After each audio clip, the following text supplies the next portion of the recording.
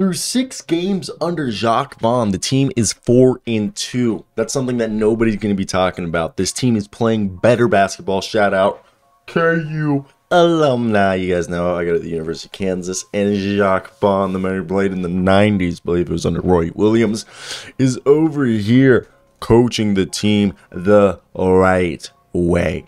And the reason I say that is if you guys watch the game tonight or today, it was today, but it was tonight, but 110 to 95. Kevin Durant continues to look like the MVP candidate that he is. Okay. Edmond Sumner's been starting to cook for this team. He's starting to play an integral role. Nic Claxton continues to play well, grabbing rebounds. Royce O'Neale playing the glue guy role. Joe Harris, the shots aren't falling, but tonight we had Seth Curry who could not miss. He was all over the floor, dropping 22 points. And off the bench, besides that, Patty Mills gave some little a little bit of help. And Ben Simmons, he only played 14 minutes. It was was interesting to see.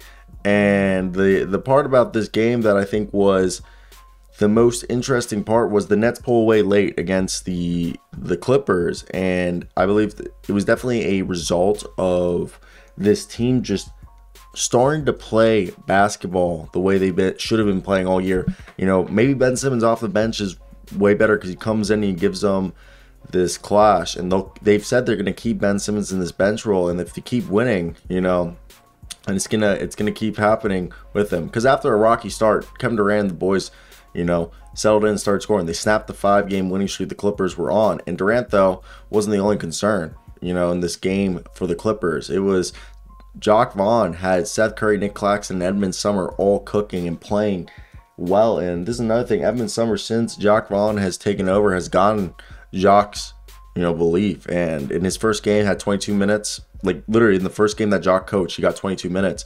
And at this point, if you look at it, the guy's been phenomenal for the team. And he kind of seems like, why weren't we using him earlier? You know?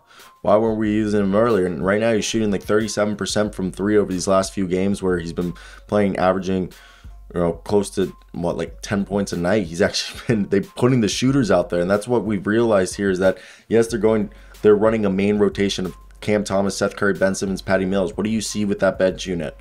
Okay, what do you see with that bench unit? Ben Simmons been coming in for Claxton, and then you have yourself Seth Curry, Cam Thomas, Patty Mills. Three uh, guys who will come in for Joe Harris, Edmond Sumner, and Royce O'Neale and Kevin Durant who can shoot, can shoot yes, we saw a little of David Duke and Kessler Edwards and Day'Ron Sharpe, but seriously, like this team has been playing better because they've been shooting the basketball.